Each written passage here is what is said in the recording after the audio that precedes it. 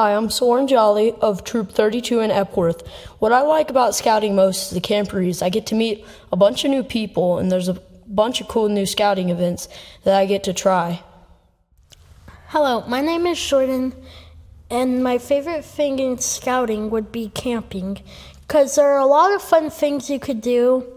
And honestly, it's really fun to set up the tents um, or like roast marshmallows and build fires. It's really fun. Hi, I'm MJ. What I like about scouting is the camping, the shooting thing that we do every year. Or my favorite event uh, in scouting is hiking. And why this is my favorite event that I like is because I do it with friends and my family.